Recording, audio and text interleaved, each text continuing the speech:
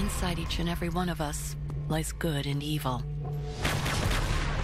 In the end, it's which side we choose that defines who we are. Law and Order, weeknights at 5.